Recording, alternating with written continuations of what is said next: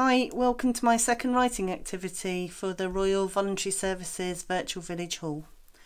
Before we get um, cracking on, on the writing prompts, I just want to remind you that this is really just a bit of fun, um, a way for us to be creative for a few hours while we're spending time at home. So don't worry too much about your handwriting, your spelling, the things that you're writing. Um, nothing that we do is wrong. Anything that you produce is fine. Um, and no one's going to see it unless you share it. And please do share. If you've if you've typed up some of the pieces that you've written already it'd be great if we could have them on the um, Facebook page to to look at and share with others.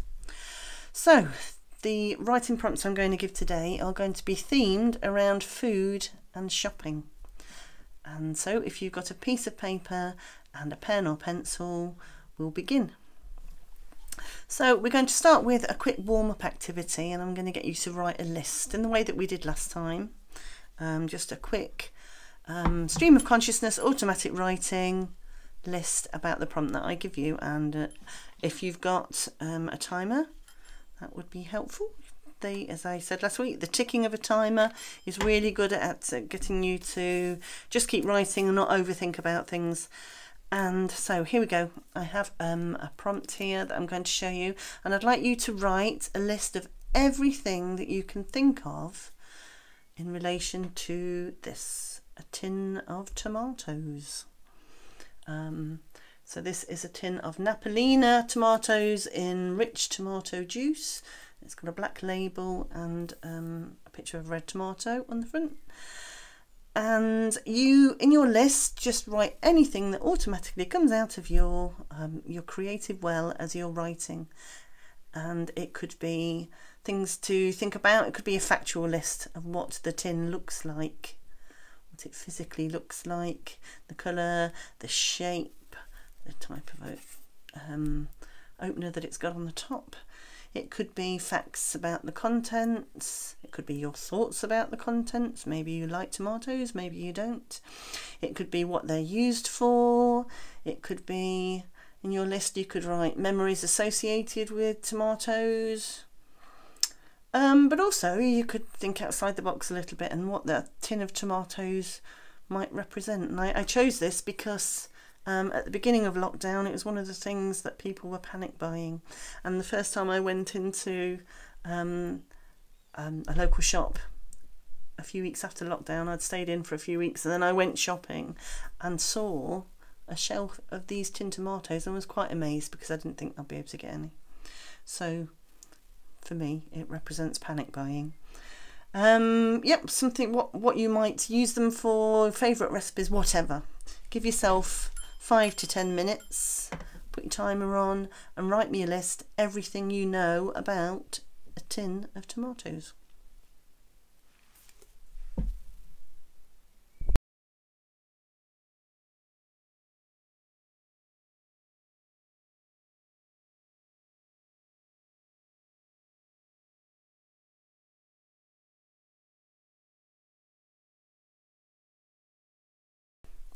So there you go. I hope you um, managed to get a good list of ideas about tomatoes. Um, and that was a warm-up activity to, to just get your pencil flowing and get you back into the habit of writing. But if you wanted to, you might have some ideas there that you'd like to pull out and work into something else. Maybe um, choose one one thing on the list and expand it into a story or a, a memory or a poem or as we, we said last week take the list itself and turn it into a poem, tidying it up a little bit and turn it into a poem about tomatoes, whatever you'd like to do. But yeah, lists. Lists are really good. A really good way to begin writing. For the next activity, I'd like you to tell me a shopping story. And um, there's quite a range of things that you could write about shopping. So I was thinking particularly about online shopping to start with, um, and that reminded me when I first when they first brought in online shopping, um, and I wasn't very good at using the computer. I had some terrible experiences of accidentally ordering the wrong things um, because I didn't understand how much um, a jar contained. I, I accidentally ordered a catering size jar of Branston pickle once instead of an ordinary small one, and it took us over a year to eat it. Um, and then there were substitutions that um, the shop would make when they hadn't got the thing that I'd ordered. Some of them were very strange indeed, and my children's faces when they were having to eat packets of crisps that weren't the sort that they usually had or the flavour that they really liked. Um, there were some amusing times there. So, um, have you ever ordered online shopping and had some disasters or amusing substitutions? Have you had to make do with um, unusual items that people have bought you currently if they're shopping for you and um, have had to get whatever's in the shop or haven't understood the things that you wanted? You might want to write about what shopping what your usual routine is for shopping what supermarkets you like to go to whether you take a list or whether you follow the pattern of the shop and that helps you remember what you want. Whether you're really good at shopping or whether you're somebody who ends up being sucked in by the bargains that are around you and buying things that you don't need um, it's quite common for people to talk about the Lidl Aldi effect and going in for your basic groceries and coming out with a hedge trimmer. Has anything like that ever happened to you? And if so, what was the weirdest thing that you ever bought that you didn't need in a supermarket? You might want to write about shopping when you were a child. What was shopping like when you were a child? Who did you go shopping with? What was the name of the shop?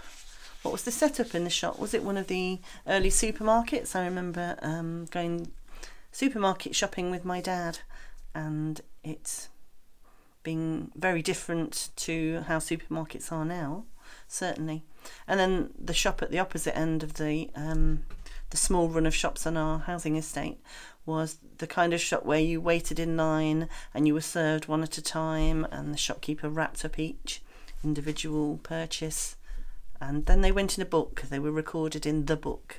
My mother would sometimes send send us children round to go and get something that she'd run out of, and ask that it be put in the book that she would settle at the end of the week.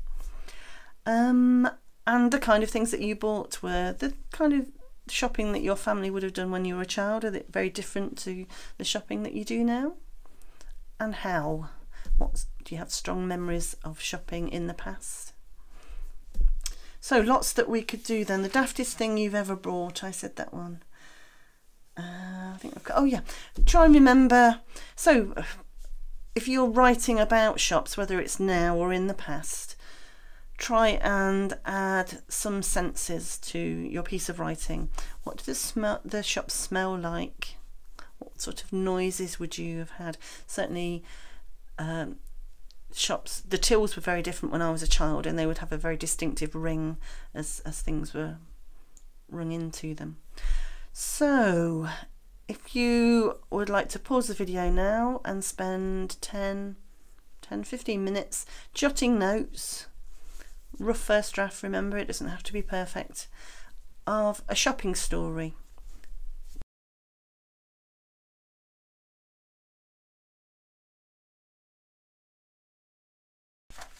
I hope you managed to get a few ideas down about shopping that you'll be able to pull together into a piece later on. Um, I've got some examples to read to you um, that might you might want to use as a model. And the first is um, a poem. I created a list of things that I buy when I'm shopping and the route that I take around the supermarket. And then um, I found it quite hard to do anything with until I got a rhythm. I've bor borrowed um, a rhythm from another poem and it is quite rough, but it's it's not it's a first draft. So a punnet of strawberries, red and juicy, three or four bananas depending on their size, a string bag of onions, red spuds, broccoli, organic carrots, good for the eyes. Nip by the free from aisle, see if they've, they've a pork pie, a ready meal lasagna if they have any left, a tub of juicy olives, nice ones from Italy. A pot of cheese and chive dip, the price pure theft. Up to the tins now, tomatoes, beans and sweet corn. Across to the dairy aisle to get some milk. A small block of cheddar, a triangle of parmesan, double cream, yoghurt, butter smooth as silk, cereal, bread rolls, chocolate cake for Sunday, a family bag of pasta twirls to make a midweek tea, cider for the daughter, Red Bull for the teenager, smile to find the red wine is buy two, get third free. Queue up for the wide till, chatter with the till girl, pack away in bags for life, that's the shopping done. Trundle to the car park, stow away the shopping bags, boot shut, trolley stashed, drive off home. There you go. I tripped up on a few words there that I might need to change to make it easier to read out. That's one of the editing tricks. If your tongue can't say it properly, it needs a different word to go in. Okay, so the other pieces are um, bits that have been written by people in writing groups. And the first one is by Jean. It's a shop from my childhood. On Lincoln Street in 1954 was a marvellous shop with displays out front either side of the door which stood open in summer and opened with a creak and a buzzer in winter. Outside were biscuits of all shapes, sizes, colours and tastes which I only discovered later were dog biscuits. The aroma inside was incredible, a mixture of bacon, varying from meaty when new and cold to a vaguely de decaying acid smell in hot weather, cheese, which stood large and unwrapped on the counter, bread, baked daily in the small hours, and tea in square open chests. The sugar was scooped into blue packets or in a hard oblong, also blue wrapped, which we had to beat with a rolling pin to put in our tea. The crisps had packets of salt, also blue, and everything was weighed, wrapped, put into a brown bag, and the price written on it in pencil. So that's a memory from childhood. Memories of a newsagent's.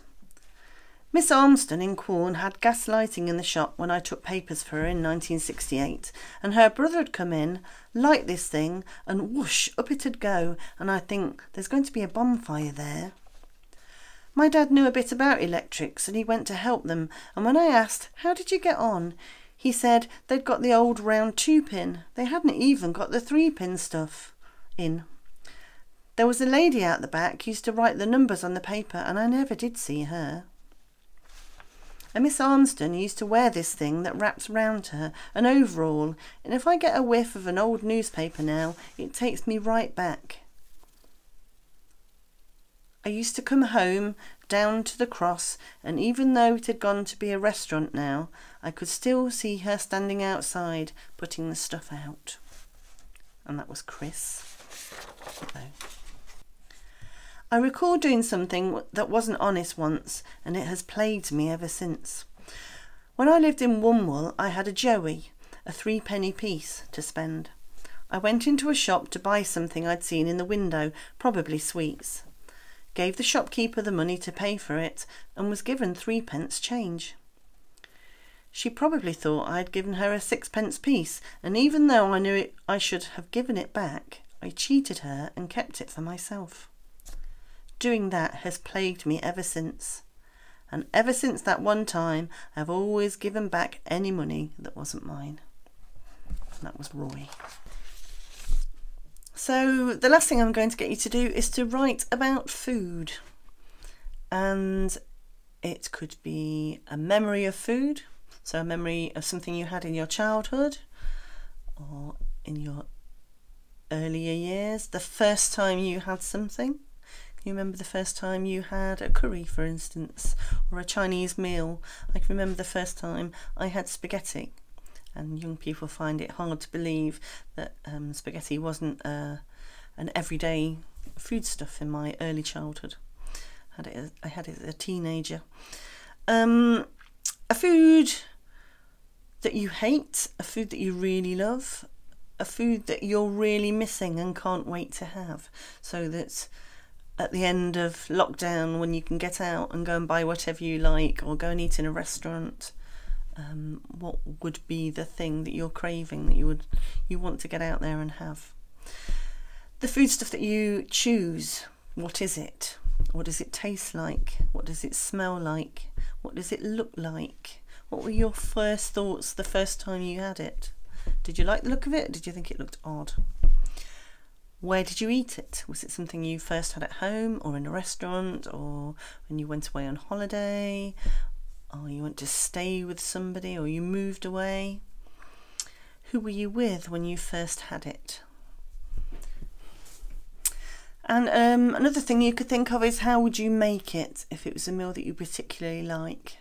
Could you um, write the recipe for it? Recipes are a really good way to structure a piece of writing um, because you can write the, the factual part of step by step how you make something, but you can also uh, weave in bits of story around it. And I've got an example of that here. Um, this is by Patricia and she's writing about jam. One of the foods which is part of my history is jam and the palaver of making it. Usually, jam makers use a large pan known as a maslin pan. I've never used one. My jam making is restricted to cooking the fruit in a pressure cooker, usually using three pound of fruit, three pound of sugar plus water.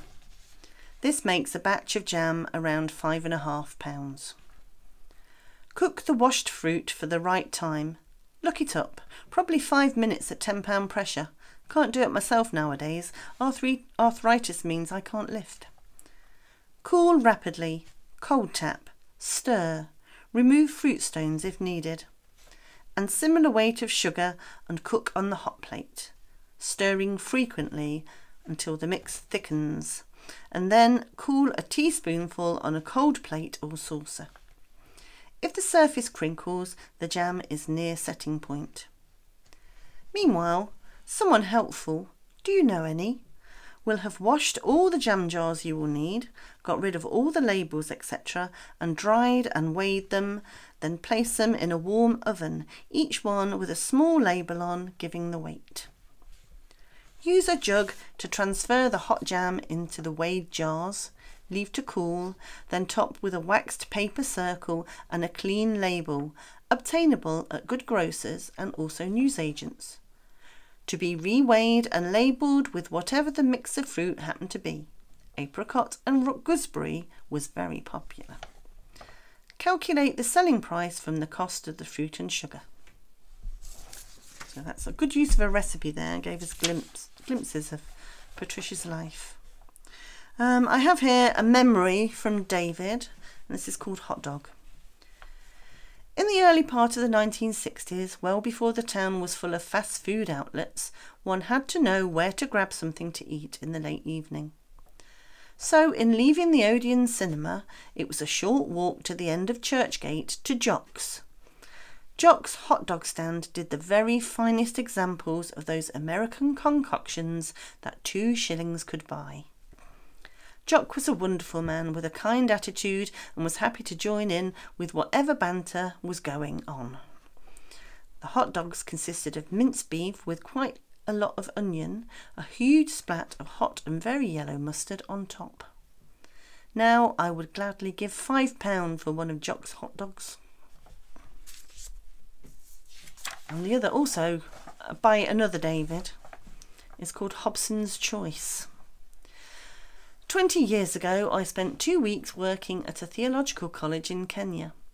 As well as training priests, the college also taught secretarial and accounting skills to local school leavers so that they would have a chance of finding work when they had to leave the family land and go into towns and cities. The college also wanted to teach woodwork and metalwork to other youngsters, and we had fundraised to build two classrooms where these skills could be taught. As well as seeing these new classrooms and being there for the formal opening, we were also asked to do some decorating and some teaching of, the of the theology students, five of our group being ministers. We were invited to join the students for lunch, and I mentioned to the principal that I was a vegetarian and I hoped that this wouldn't be a problem. No problem at all, he replied. Everyone is vegetarian here. We can't afford meat and a very good lunch it was, at least for me. So there, some memories that you could perhaps use as models or I'm sure you've got ideas of your own. So pause the film and get writing.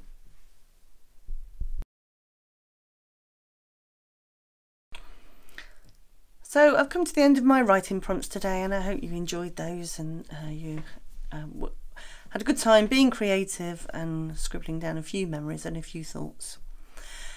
Before I go, I said I'd have a quick word about editing this week. So, um, when you look back at, at a piece that you've written, you need to go into your analytical brain and assess how well it works for somebody reading it. Somebody who doesn't have your knowledge of the um, experience that you're sharing in your piece of writing. So, First thing to do, read it aloud. It's a really good technique. And as I did with my poem earlier, if when you're reading it, you're finding some words trip you up, they don't flow off your tongue as easily as they should, it's usually an indication that they need changing. Um, so swap them around. It might mean swapping sentences around. Um, check for repetition, that you haven't used the same word a few times um, because again that snags the reader when they're listening to them. It gets them out of the flow of the story that they're listening to. Tighten up the writing as much as you can. Take out as many small words as you can, particularly with poetry. The fewer the words, the better in poetry, so that it's boiled down just to the idea, the main idea that you're wanting to get across in your poem, your one theme and um, I, I, a technique that I sometimes use is I like pretend that you are writing the piece to pay to have it put in the newspaper as you would an, advert, and that you're going to be paying per word, and you want your bill to be as small as possible. So cut your piece down to the smallest amount of words that you can, while still keeping it, the sense of the piece, and while it still makes sense. And some of the words that you can take out, you can often take out that and the and a and play around with it.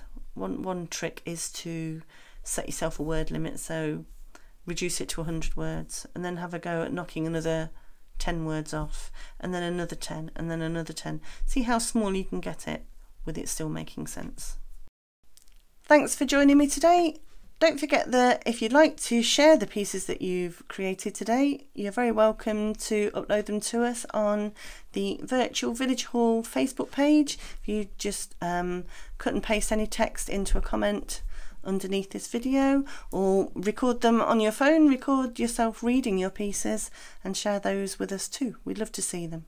And hopefully I'll see you again next time. Bye.